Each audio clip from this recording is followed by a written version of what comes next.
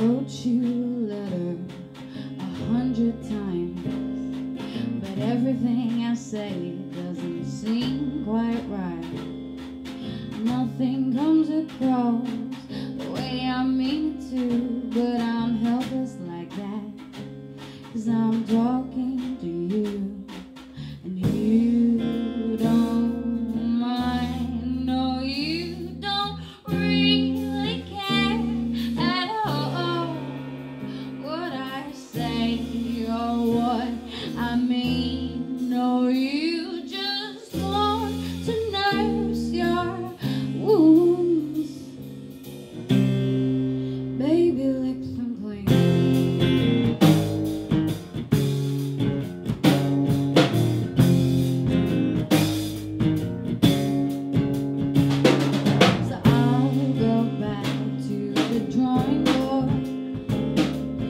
crumble